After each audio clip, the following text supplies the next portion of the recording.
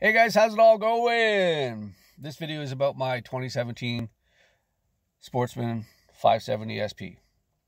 I've had that thing now for over six months as I made that video that I about it, ownership there. And you you may have noticed in the last few videos, or maybe even from right from the start, I kind of talked about how it was underpowered. Um, I've recently had the tune put on it, and I paid $450 to have the tune, which takes all the limiters off of it, and I've had that done. And right after that, I took, uh, I had my buddy come over with his 2019 570, and I jumped on it, and I was instantly disappointed. Uh, later on, him and I went for a ride a couple weeks later, and last week, or a little more than that, he suggested I get a compression test. So I ordered one off Amazon.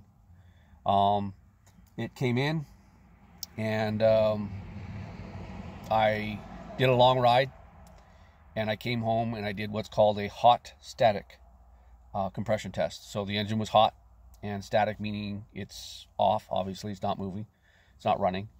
Um, I pulled the plug and it is a hot static test and it pops up at exactly 90 psi. It's supposed to be around anywhere from 120 to 125. So I called uh, Deerhaven, um, which is a dealership in Belleville, Ontario, and I called them up, talked to the parts guy, or the, not parts, sorry, service, and I asked him straight up. I said, you know, I did a hot static, um, 90 psi. Is that bad? He said, yes. So I have a couple different options for that.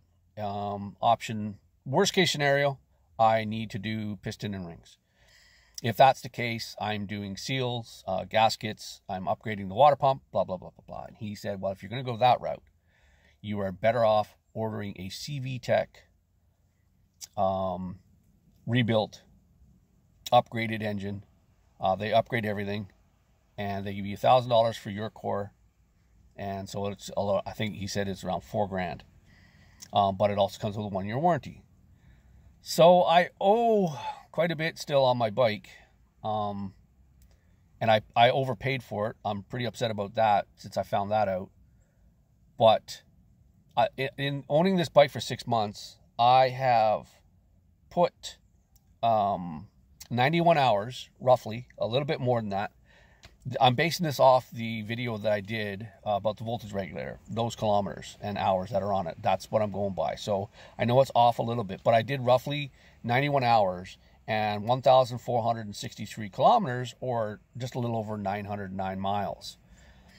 And now, there's no way in the world I lost all that pressure because I've I've been saying to the guys at uh, Bonner Marine slash Powell Power Sports from day one that thing felt underpowered, and I could have sworn my 04 600 twin had more power.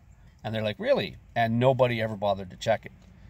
So now that I have, now that I know, um, my buddy uh, that I was out riding with, the one with 29, he said that's exactly why he doesn't like Polaris. Even though he's bought a 570, he's actually selling it that uh, last time I looked at his bike, he's got 66 hours on it, and he wants to get rid of it. Um, and he said that's just it.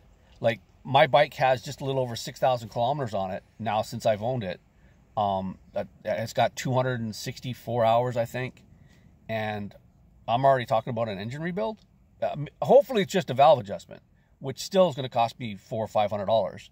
I got to buy shims, and you know it's going to take a couple hours for them to um, uh, down pressure it, like pressure the system and, and, you know, down pressure it, find out where the leak is. Hopefully it's not on the piston side. Um, it's not using any oil at all. It's just down on power. So it, it not using oil means that I like I don't have any oil leaks in it at all. So I'm not haven't blown out any seals.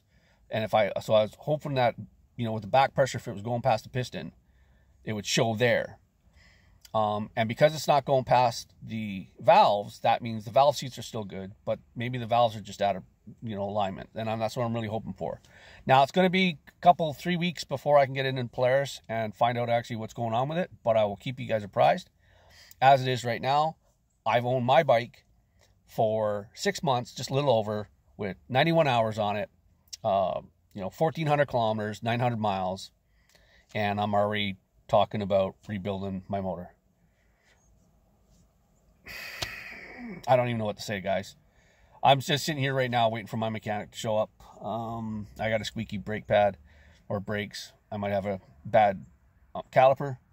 But anyway, with that being said, guys, thanks a lot for watching. Please subscribe to my channel like always. Hope you guys like my videos. Hope you find, find these somewhat informative, even though this is just a story about ownership. Um, I appreciate every single one of you guys. Like, share, comment, and hit the notification for all my other videos. And uh, thanks a lot for watching, like I said before. And I'll see you guys in the next one. Peace.